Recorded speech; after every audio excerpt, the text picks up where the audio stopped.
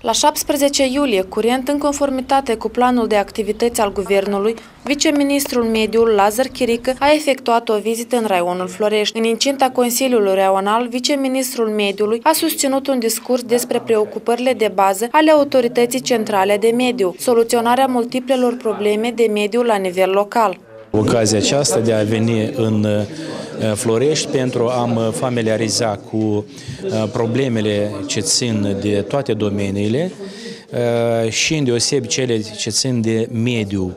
Deci problemele de mediu noi le soluționăm ori la nivel local, raional sau la nivel de minister, însă celelalte solicitări care au parvenit din partea primarilor Uh, vor fi transmise guvernului pentru uh, a fi soluționate.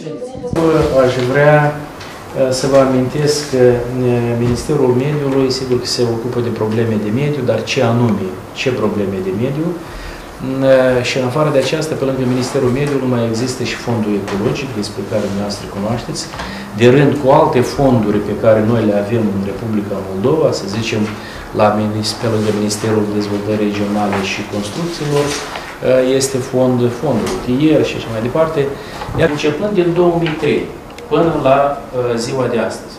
Și ce putem noi lista? Uh, nu este, nu vreau să vă zic nimic, dar uitați-vă, în 2011 două proiecte ați depus. În 2012 un singur proiect de 2 milioane 500 de mii. În 2011, 768.800. În 2010, un singur proiect. Da. De 294, nu, aici e în 2010. Amenajarea, amenajarea și înverzirea. Da. În 2009 ați avut 1, 2, 3, 4, 5 proiecte. În sumă de 2 milioane 120 și 138 de mii 610. Și tot așa, ce am vrut eu să vă spun prin mesajul acesta? Sunt puține proiecte. La întrevedere s-au adresat întrebări privind posibilele căi de îmbunătățire a stării mediului în localități. La proiectul BER. Până la moment, poate dumneavoastră mai de sus, să vede mai mult și puteți să ne spuneți când să avem apă în teritoriu cu BER. Pot să vă zic că deja s-au început uh, licitații în multe raioane, mai avansați sunt cei de la uh, Ceadăr Lunga și Liova. Uh, și aici, după câte știu eu, deja și aici în zonă deja sunt. Am făcut un proiect în anul 2009 uh, prin intermediul protecției solurilor de protejarea satului în valoare estimată la 1.200.000. În 2009 a fost prima tranșă, 110.000 implementate. S-a început mm, construcția acestui DIC, dar a fost total din lipsa de finanțe.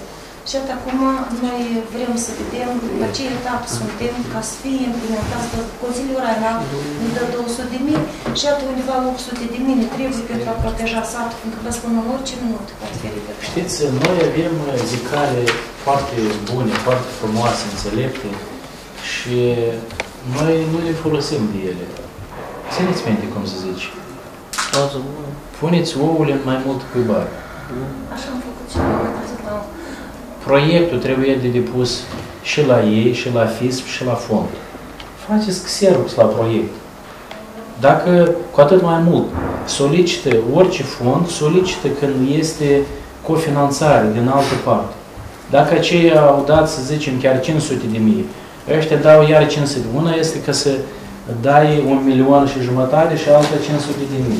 Fondul are succese uh, bune în domeniu, însă Mm, sunt restanțe la capitolul uh, proiecte depuse la fondul ecologic, mai ales proiecte ce ar viza uh, rețelele de aprovizionare cu apă, sistemele de canalizări și așa mai departe. Uh, chiar mai mult pot să vă zic că pentru anul 2011 din partea raionului au fost depuse două proiecte în sumă Mm, aproximativ de 500 de mii de lei.